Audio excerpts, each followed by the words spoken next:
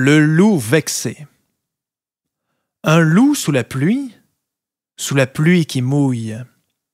Loup sans parapluie, pauvre loup gribouille. Est-ce qu'un loup nage Entre chien et loup, sous la verre sans rage?